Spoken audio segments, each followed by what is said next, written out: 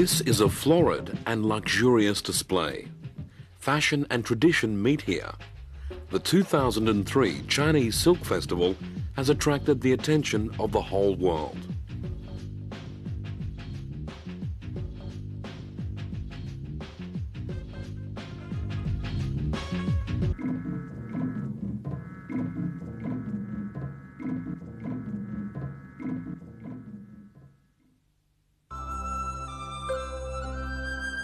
People want to visit Hangzhou not only because of the beautiful West Lake, but also because of the colorful and splendid silk products there.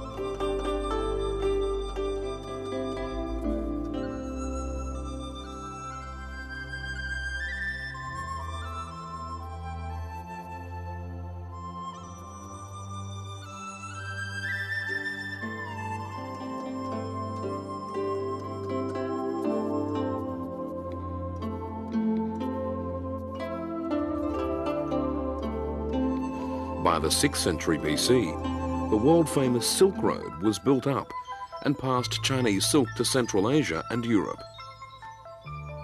The Silk Road prompted the trade of silk between China and the West and also contributed to the rich cultural and economical exchanges. Chinese silk was then passed to the whole world.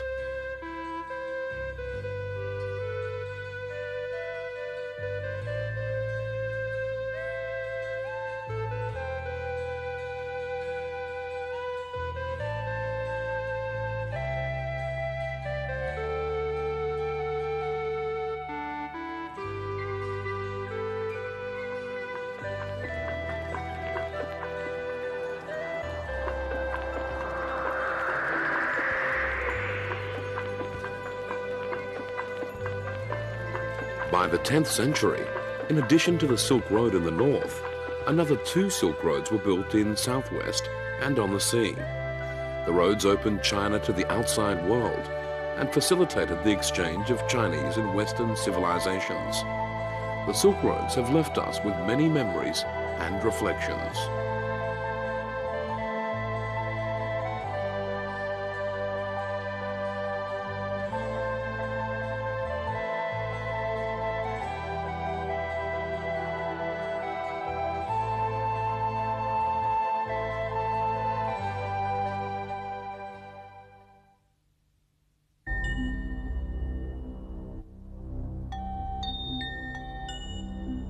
Cultivation of silkworm and production of silk in China can be traced back to at least 5,000 years ago.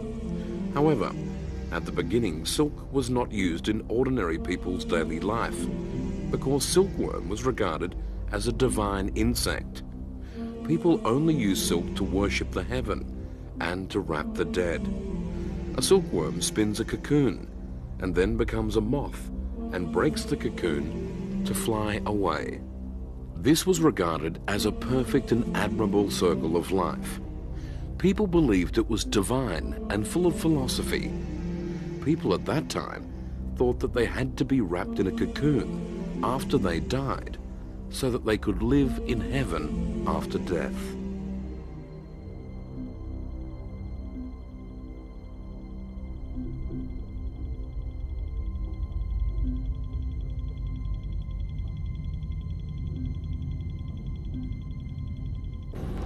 到了战国、春秋战国时候呢，慢慢慢慢的这种情况就开始，呃，放开了，就大家的观念在转变。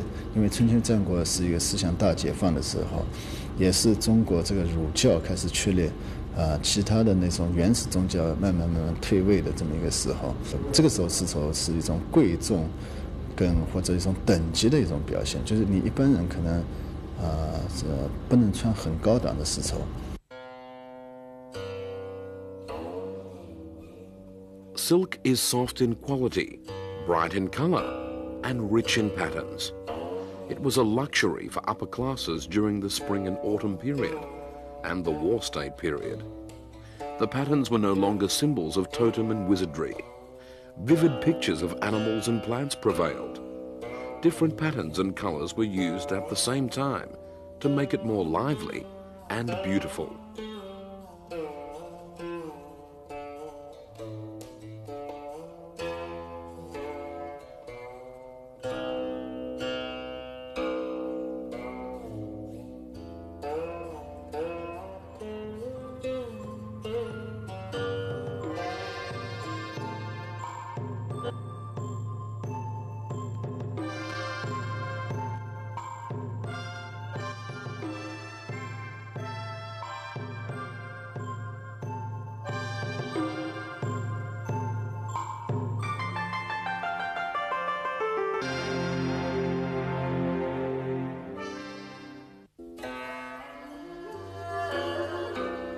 The second century, 206 BC, China's Han Dynasty already paid great attention to the silk industry.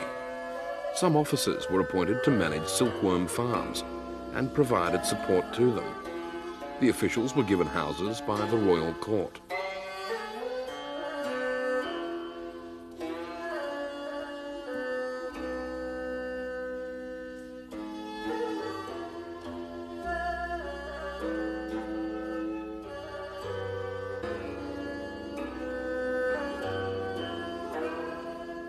Tang Dynasty was the turning point in the history of Chinese silk. The Silk Road prompted the cultural exchanges between China and Central and Western Asia.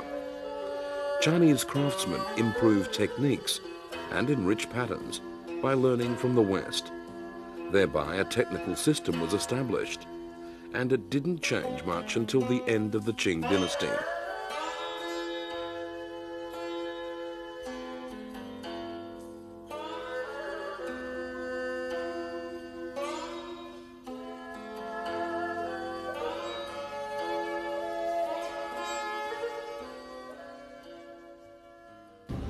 在中国历史上呢，唐代呢是一个非常辉煌的时期。在中国的丝绸史上呢，唐代也是一个高峰的时期。这个高峰呢，我们可以从它的产量上面看出。我们曾经计算过，在唐代整个社会呃的生产当中，丝绸呢大概是占所有纺织品的三分之一的这样的一个产量跟消费量。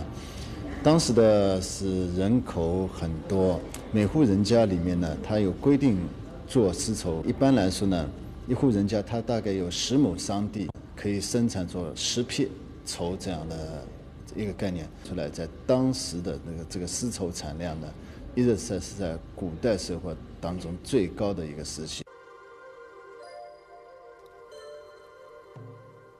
Silk products in the Tang dynasty didn't contain any mysterious facts and were no longer simple. The colours were bright and splendid, and the patterns were mainly flowers and birds. The lively patterns portrayed the prosperous and stable Tang society and its ambition of expanding the territory. It was a golden age for Chinese silk. “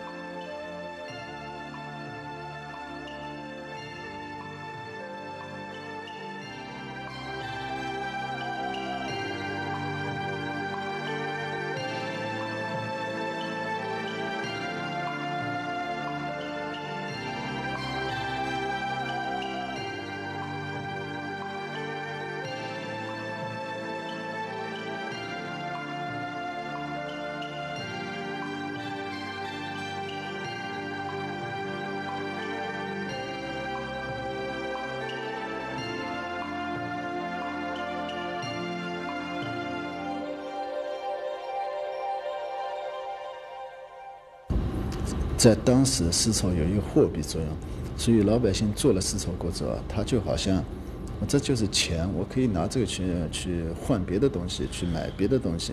所以有些人可能不一定舍得穿，他一方面用它来交税，另另外一方面拿它来买东西，他自己情愿穿的穷一点。所以当时有这种养蚕妇啊，他说：“变身罗绮者，不是养蚕人。”就是那些穿着丝绸衣服的人不是养成人，而真正养成的人他穿不起丝绸衣服。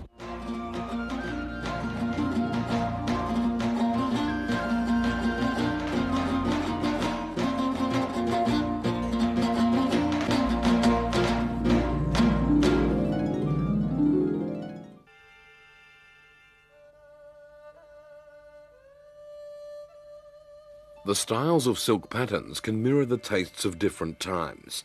For example, in the 10th century, the weakened Song dynasty was facing invasions from the northern nomadic tribes.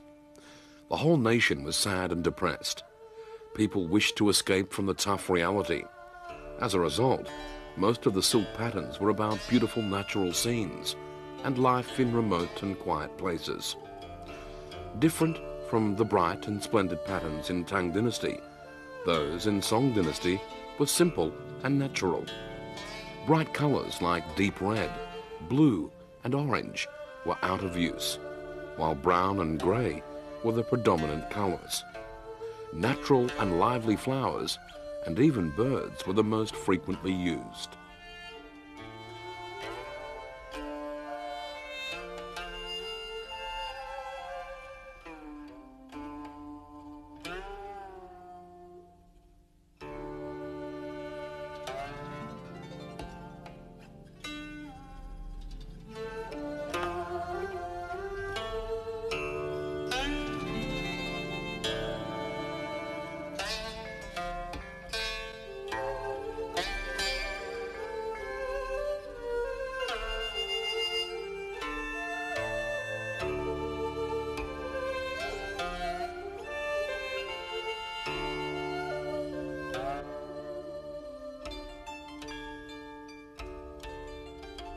是南宋迁都迁到杭州过之后，杭州成为整个这呃整个中国的当时这个宋朝的那个政治、经济、文化的中心，所以所有的丝绸生产在这里也非常发达，丝绸贸易、商业也非常繁荣，还有各地的丝绸都要运到这里来啊、来进行一些，比如说交纳税赋啊等等一些，所以呢，这个时候丝绸呢在杭州呢确实是可以成了一个丝绸之府。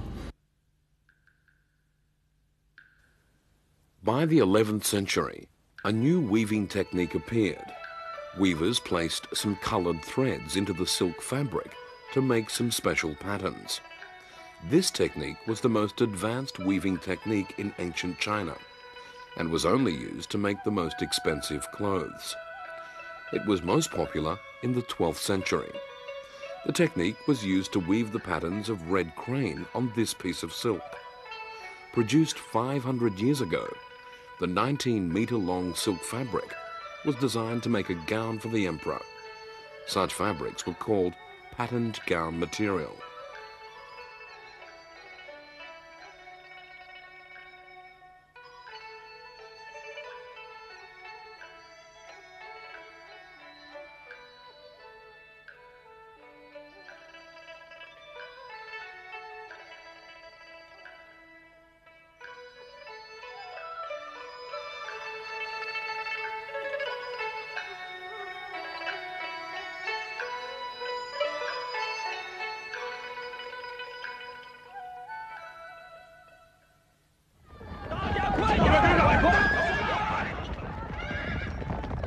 The 13th century, the Song dynasty was overthrown by the Mongolians, who were dubbed as a people on horseback.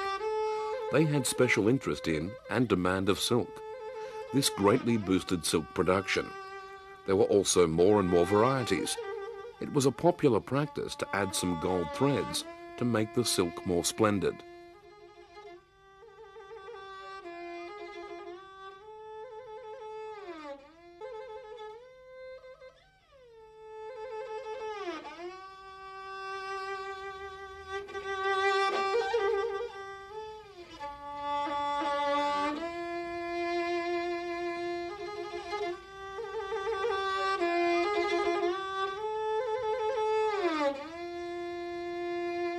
那个时候的一些西方传教士啊，来到蒙古草原，他们写的那个游记啊，像《出使蒙古记》里边记到，当时看到了蒙古大汉以及蒙古贵族穿的衣服是金金光闪闪的，金光闪。他们所说的金光闪闪的，实际上就用纳什石这种原料制成的衣服。In the cold and dry north, everything seems to be grey. The nomadic people think only the golden colour, like the sunlight, could bring life and brightness to the world. That's why people, particularly the wealthy and noble, would wear golden clothes to show their wealth and dignity.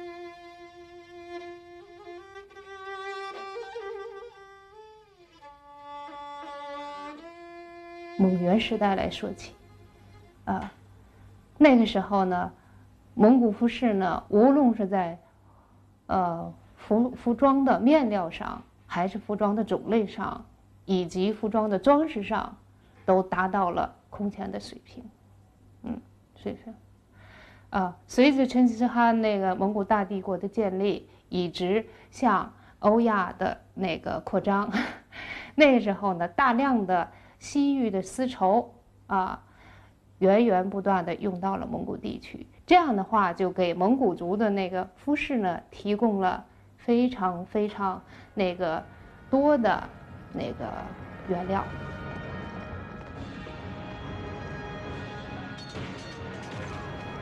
Many of the war prisoners from the West were good at weaving golden silk. They worked together and exchanged their techniques. Generally, the silk fabric in that period contained obvious indication of foreign cultures.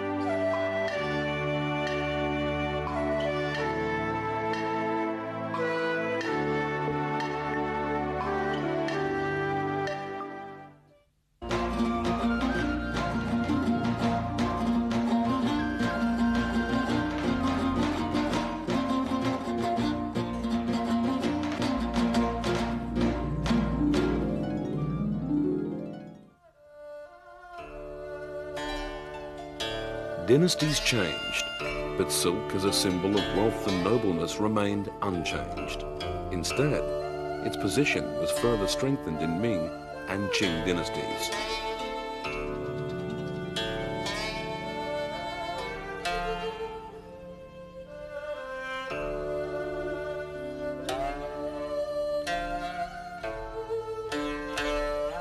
Rulers of the Ming dynasty in the 13th century issued a policy on management of weavers. Civil looms were often used to weave silk for the government. People also invented more types of looms. Different looms and weavers enjoyed different social status. The government issued official licenses to government-owned looms. The licenses contained detailed information of the weavers, including their name, age and birthplace licensed weavers could get some grain from the government.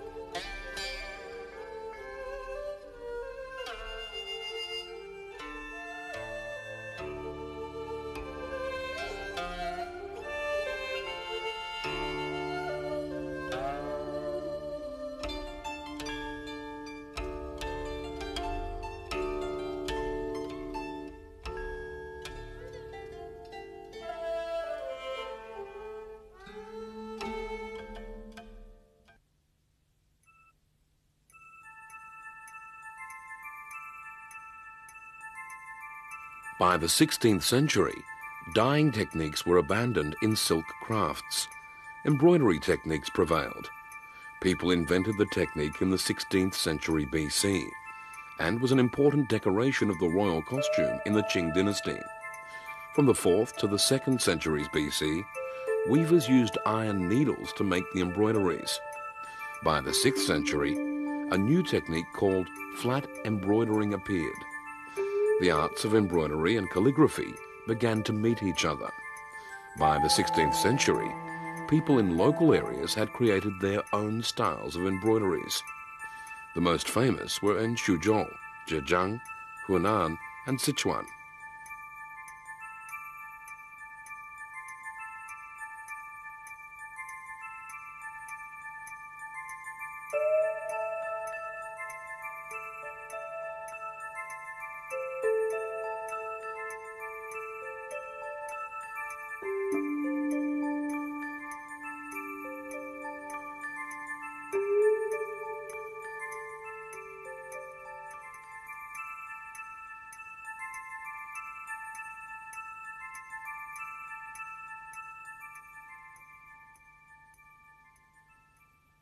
曾经在内蒙古那边发现有一件衣服，一共绣了九十九个图案在一件衣服上面。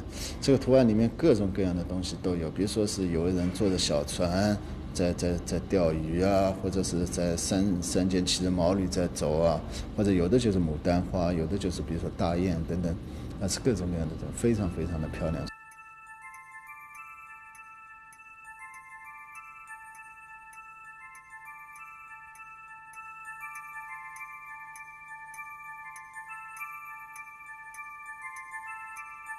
It has been a long tradition to embroider pictures on silk that means good fortune.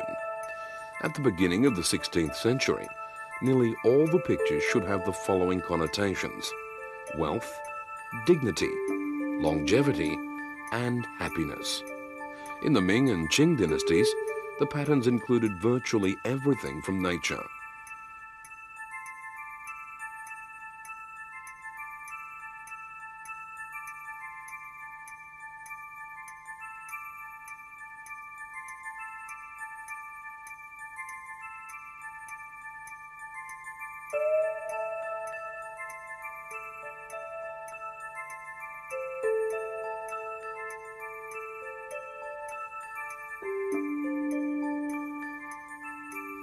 In 5,000 years of development, silk weaving and dyeing techniques have made continuing improvement.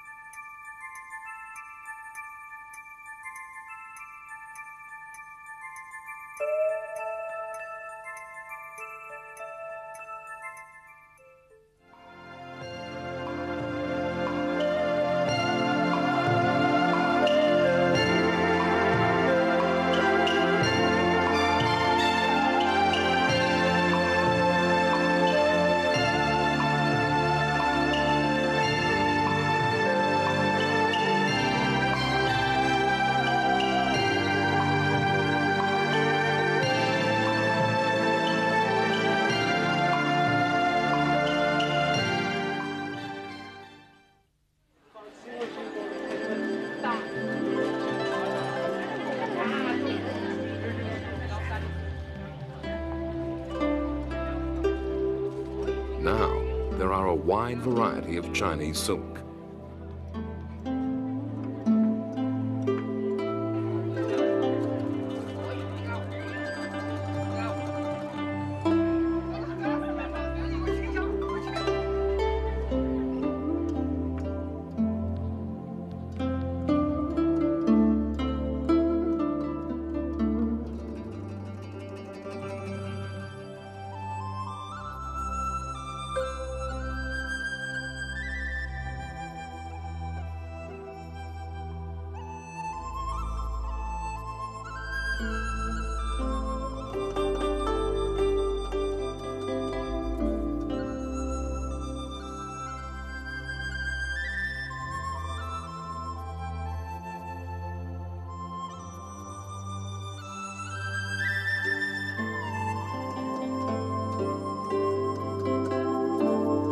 这个丝绸来说，世界各地的人都挺喜欢，因为它是纯天然的。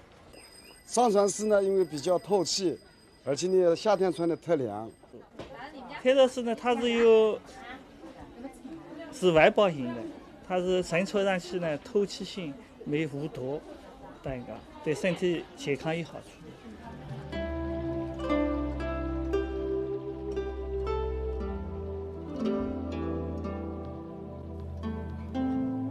Silk is a kind of animal protein fiber.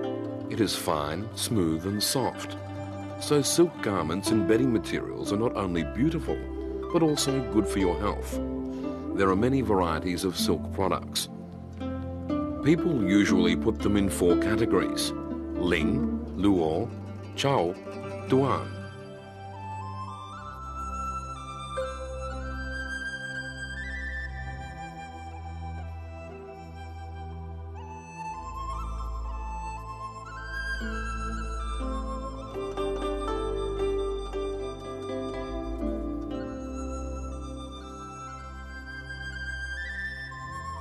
Ling features diagonal weaving. It was the most popular in Tang Dynasty over 1,000 years ago.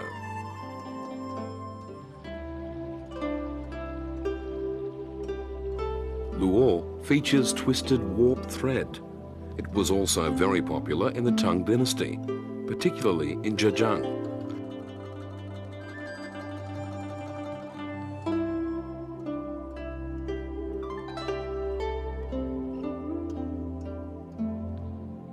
Description of it can be found in some poems at that time. We can view this from silk rags unearthed in the site of Lei Feng Tower. Chao refers to tabby silk that is dense and light. It has existed since it first appeared in the Neolithic age.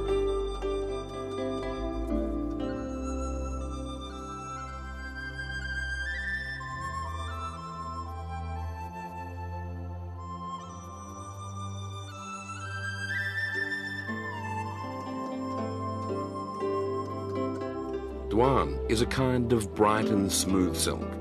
It first appeared in Yuan dynasty 700 years ago and became the mainstream silk product by the 14th century. Because of its bright color, nowadays people often use it to make wedding bed cover.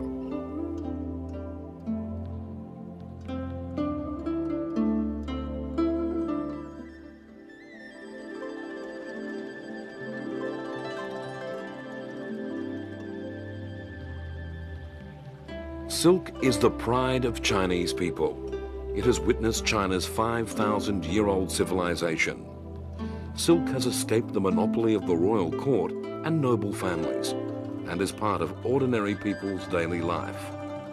Silk can bring coolness in the hot summer thanks to its softness, smoothness, and elegance. Silk was, is, and will always be a fashion.